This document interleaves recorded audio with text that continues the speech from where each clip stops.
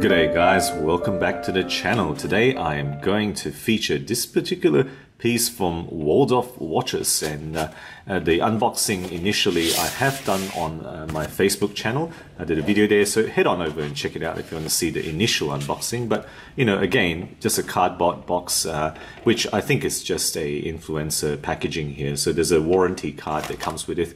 The, the normal box I believe is either wooden or at least a full faux wooden box that you might get if you purchase this directly from the company uh, for the purchase price. And then, you know, just have a look at that. That's a nice little piece actually. This is the tag that comes with the watch. It's got a bit of a, a relief on it. So there we have uh, that and just get the packaging out of the way and show you the watch.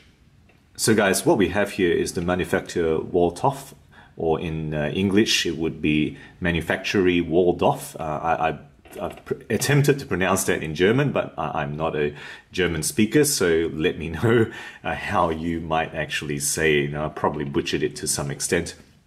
Uh, so this model is the Multimatic Diamond Silver. This uh, watch uh, is their flagship model. It's the most complicated uh, movement that they produce. They do have a few other uh, models, but this one is by far and away the most complex with the most complications and features. It does come in a number of other uh, iterations in terms of color, uh, rose gold, yellow gold, as well as black and blue dials. So head on over to check it out if you wish uh, to look at what other models uh, they do produce. So uh, this company, manufacturer Waldhoff, uh, was a Kickstarter actually, 2015 I believe, and they they did that campaign. It is a Pforzheim based company. Uh, and it does score a uh, made in Germany down the bottom there, but this is a Miyota movement. So, you know, I, as I understand it, made in Germany doesn't have a great deal of control, you know, that, that term. Uh, and in fact, of course, that movement is Japanese. So let me know uh, if you have knowledge about what made in Germany specifically means, because uh, as I have read, it certainly doesn't mean as much as made in Switzerland, for example. So this watch, um, initial uh, Kickstarter price was uh, 399 Swiss francs, or uh, in USD, it was uh, 450 USD that I saw in Indiegogo site uh, list that. The current list price is actually 675 uh, USD. So, you know, um, there's a bit of a difference there. We'll talk about the value proposition as we go into it. The movement in this case is the Citizen Miyota 9100. And this is the first time I featured this particular movement on the channel, the multi complicated movement here. And pleasingly, this movement actually uh, beats at a higher rate of 28,800 beats per hour, you know, uh, above the typical Japanese uh, movement of 21,600. So this is more towards the typical Swiss uh, speed. 42 hour is the rated power reserve. It does have a quick set day and date. So day in the 9 o'clock marker there, uh, subdial, and uh, the date in that 430 window, in this case black writing on a white uh, disk. Uh, it does hack and it does have manual wind and it manual winds in the zero position here. Uh, now there is a power reserve complication at the 12 o'clock. Okay, so that's a power reserve arc there you can see.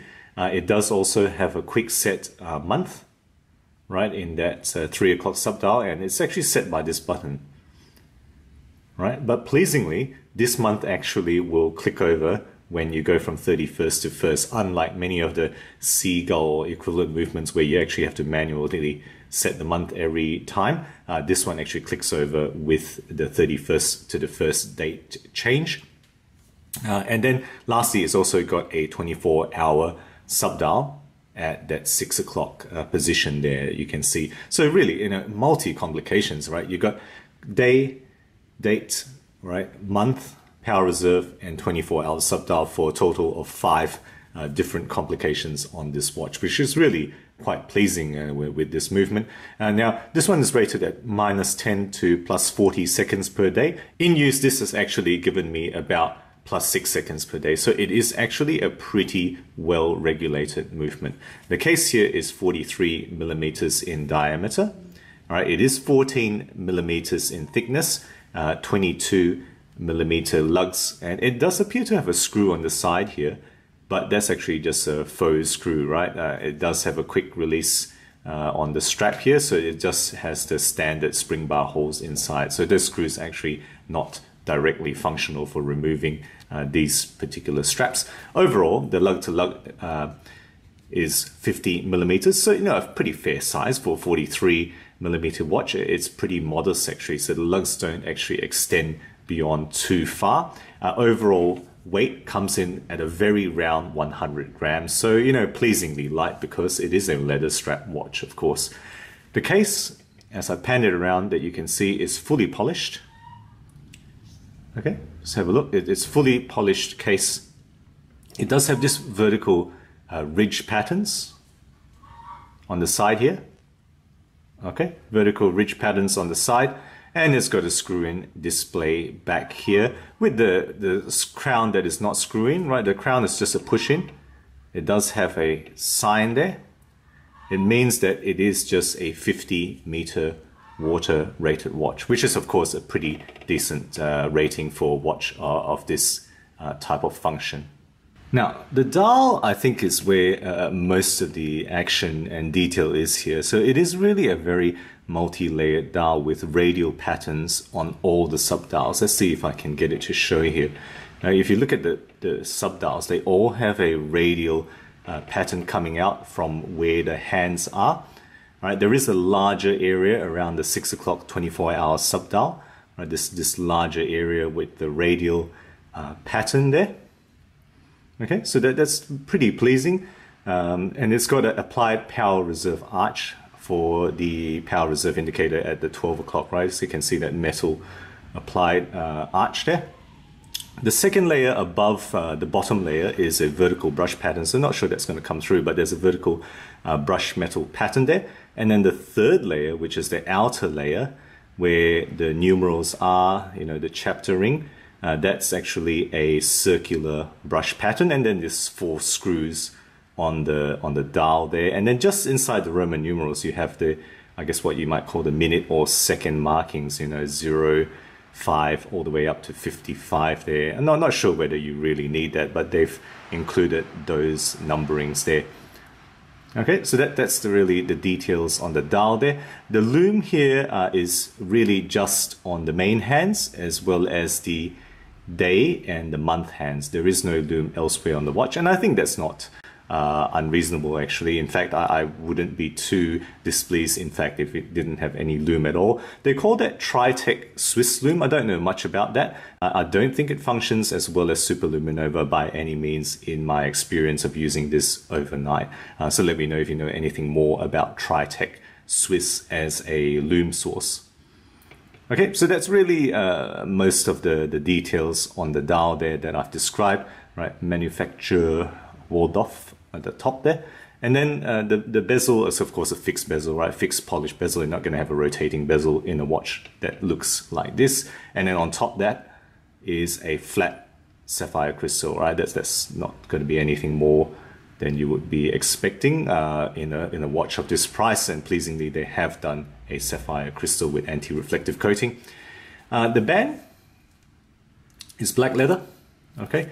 Uh, genuine leather, of course. It's got the company name there, right? Uh, I guess that might say genuine leather. I don't know what that actually means, but uh, pre presumably it's this leather of some form, right? Stitched and, uh, you know, quality-wise, no complaints. I think this is pretty good actually, certainly far above a lot of the Chinese mushroom brand uh, leather that I have featured on the channel.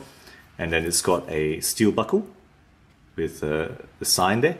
And then as I've, I've, I've pointed out, there's it's got a pleasingly, it's got a quick release lever there to, to let you change the straps very easily.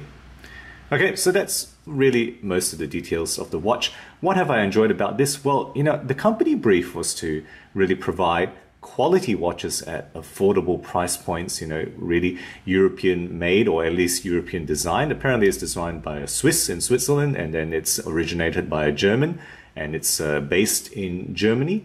Uh, so it has got that European base, but of course they do take uh, Eastern origin parts, and definitely it is a Miyota movement here. I think it mostly meets the brief of providing quality and affordability, right? This is pretty good quality in my hands in all my experience. It's been very pleasing and I have no complaints at all about uh, the finishing of this watch. The design, of course, is not to everyone's liking, right? It is pretty busy, but that's what you get with this movement, which really is really quite a good movement. It's a 28800 multi-complicated Miyota movement, fully functional complications, particularly with that month that clicks over. That's been the first I've seen of that uh, compared to the seagull movements. That is definitely a step up, and I've been quite happy with that.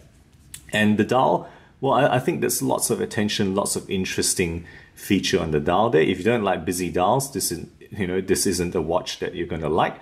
But if you do like some attention, some you know talking points uh, on a dial that has lots of interest, well, you might be you know you might be fascinated with this particular piece.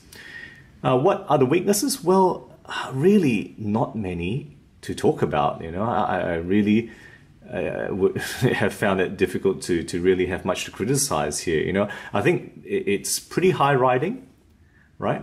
And that ridge sides might not be to everyone's liking. And I'll just put it on the wrist now to, to show you what I mean. Right, so there it is, right? The Multimatic Diamond Silver 50 millimeter lug to lug, 43 millimeter diameter on my 17 centimeter wrist, right? I, I think it fits well on me, right? It's it's the borderline 50 millimeter for me, but I think it fits all right. Uh, but if you look at the, the case design, it is slightly high riding. Certainly not your typical dress style, right? Usually you won't have a dress watch that is so high riding.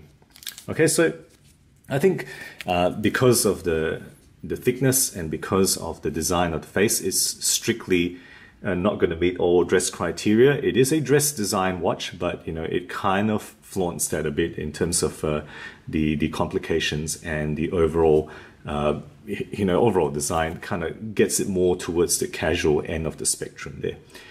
Lastly, I would say the value proposition, well, you know, let me know what you think, right? It does have a lot of features, right? It does have Sapphire, Miyota movement, which is a pretty good one. Uh, but at 675, I think the value proposition probably isn't super compelling. Certainly at the Kickstarter prices that I quoted earlier, it's, uh, I think, a very, very fair proposition, but let me know what you think about this particular watch. So guys, that's the watch. You know, if you have any experience with this brand, uh, I'm interested to hear your thoughts if you have any of their pieces, uh, particularly if you have this uh, Multimatic model. Uh, interested to hear uh, your experiences and how you've enjoyed it. Uh, guys, if you like my videos, do consider subscribing. I'm putting out new content every week, always aiming to be objective and unbiased about all things horology. Thank you again for sticking with me, and as always, I will catch you next time.